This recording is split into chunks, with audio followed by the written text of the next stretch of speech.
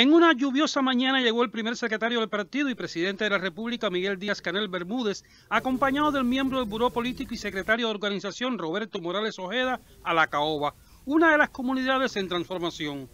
Allí los habitantes expresaron su agradecimiento por los cambios que han tenido lugar en el barrio.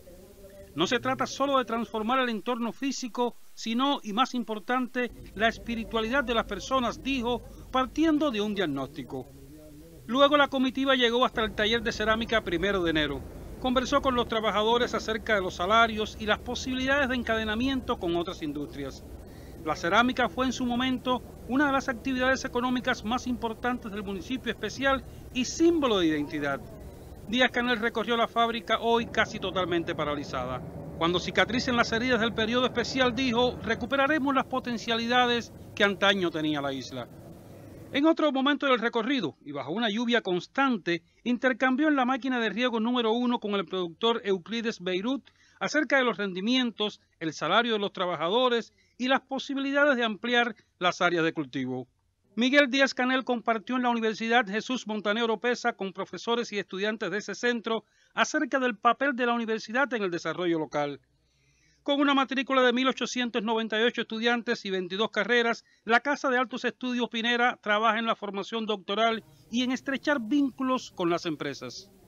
Ya en la reunión resumen de esta visita integral del Secretariado del Comité Central y su estructura auxiliar a la Isla de la Juventud, el jefe del Departamento Agroalimentario de ese órgano político, Félix Duarte Ortega, presentó el informe central que recoge deficiencias como la débil preparación de la reserva de cuadros, dificultades en la planificación y pobre vinculación con la base.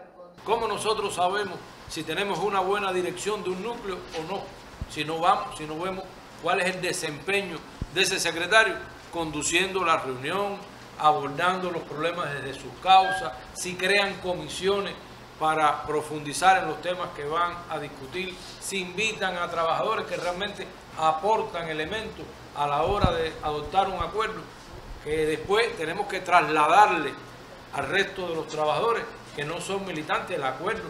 A eso nos llamó también el octavo Congreso, hacer de nuestro partido un partido cada día más democrático y para hacerlo más democrático tenemos que hacerlo más participativo. Entonces eso lo tenemos que alentar desde la vida interna del partido del funcionamiento y donde primero tenemos que ser democráticos y buscar más participaciones de dónde, con quién, con nuestra militancia.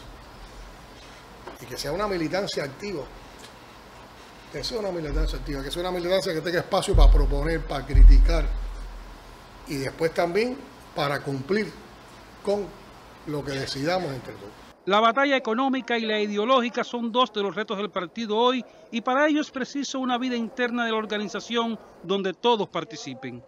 Nuestra militancia no es una marcha inerte de, marxistas, de comunistas, de militantes, de ejemplares para cumplir tareas. nuestra masa de militantes es un potencial de personas comprometidas con la revolución, con la construcción socialista, ejemplares que llegaron por mérito propio a militar en la fila, que tienen ideas, que tienen propuestas, que tienen criterios que tienen opiniones, que tienen críticas, que, desarrollan la autocrítica y que hay que oírlos y que cada vez tienen que participar más decididamente en los procesos, no esperando orientaciones.